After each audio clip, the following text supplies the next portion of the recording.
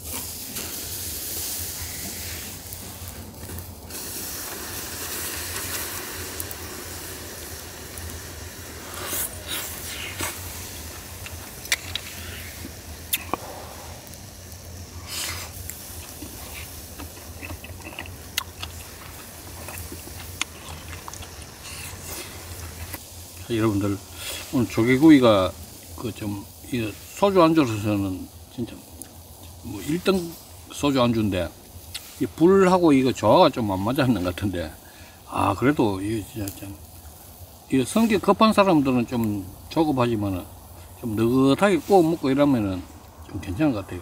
그래 오늘 또 이거 저 혼자서 소주를 한 병 모았는데 아 이거 소주 안주로서는 해산물 이거는 진짜 참 피할 수 없는 안주네요. 그 요거는 진짜 불이 좀 점점 점점 약해 숯불이 약해지다 보니까 늦게 이제 요 익어 가는데 영상 끝나고 또 먹어보도록 하겠습니다. 녹화는 여기까지. 뿅. 감사합니다.